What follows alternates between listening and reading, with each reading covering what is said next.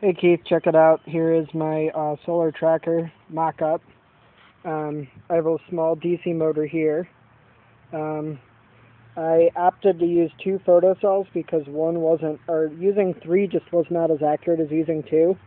Um, these are 10K uh, photoresistors um, with a voltage divider with two, I mean a 10,000 ohm resistor, and that's what they each wire to and one of them I trimmed up and fixed with uh, to make them uh, almost give off the exact same um, voltage with a small 1K um, potentiometer in line with the uh, photocell photoresistor. Um, my Hall effect sensors are here just because it's kind of hard to show you right now. I'm not going to use them, but um, when the linear actuator is at its mechanical limits, uh, the code um, allows a magnet to turn the motor off so it can't either spin off the um, the all thread or ball screw, whatever I want to use. And um, this one would be so that it doesn't, um, or this one so it doesn't hit the base where the motor is, and this one so it doesn't fly off the end where the uh, the end of the actuator is. Um, I have the code set up, and um, I've just been out here kind of trying to refine it, um, make the sensors work really well you can see from the shadow that the um, below the sensors right here that um, they're pretty much perpendicular to the sun and the motor is not spinning. So if I move it slightly to the left you can hear it kick on.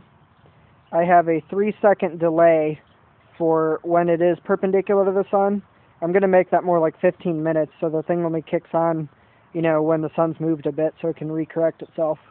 Um, but it doesn't matter what happens in those uh, 3 seconds or 15 minutes that it stalls. When it's perpendicular to the sun, it just uh, stays there. So you'll see I'm going to turn it up into the sun, and it stops. If I turn it out of the sun the other way, the motor spins the other direction, so the actuator will bring it back, and it'll stop. Tilt it away, stop. Thing works really good, dude. Um, basically, what I ended up doing is I have the sensor set up so that um, you get the difference between the two values, and um, the difference is defined by uh, sensor 1 minus sensor 2. So if sensor 1 is positive and this one's negative, then you get a positive uh, difference. If uh, sensor 2 is more is a higher value than sensor 1, um, you'll get a negative value for the difference. And depending on if your um, the difference is negative or positive, determines if it's going to correct. So this would be a um, a negative difference, so it knows to turn this way. Um, then when you go this way, sensor one is uh, has more sunlight, so the difference between the two, sensor one minus sensor two, is positive, so it knows to correct it this way and uh, that's it. Um, when the difference is um, greater than negative 1 and less than 1, then it sits still. So pretty much that is almost, you know, absolutely perpendicular into the sun. Anything beyond those limits, below um, less than negative 2 or greater than 2, um, will turn the uh, actuator the correct direction to bring it back into the sun.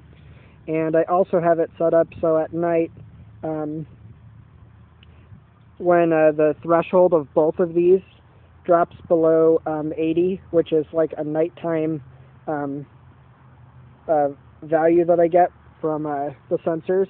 Whenever they're below 80, it goes into night mode and it goes um, turns the motor on to actuate the whole thing back this way to the east. And um, when it gets all the way to the bottom, the Hall effect sensor will turn it off.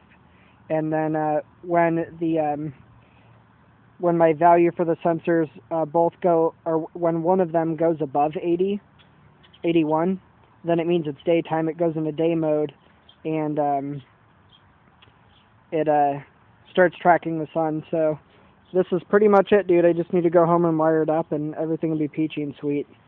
So I uh, just kind of wanted to show you what I've been up to and how it's coming along.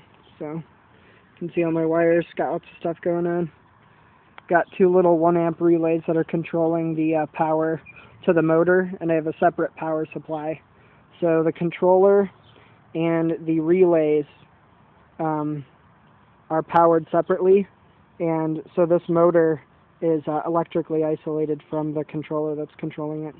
So, pretty sweet, dude. Um, I will uh, show you more when I have more, when I get back to Portland and hook it up.